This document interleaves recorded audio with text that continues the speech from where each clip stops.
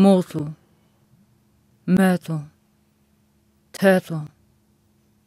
turgle, gurgle, girdle, curdle, cuddle,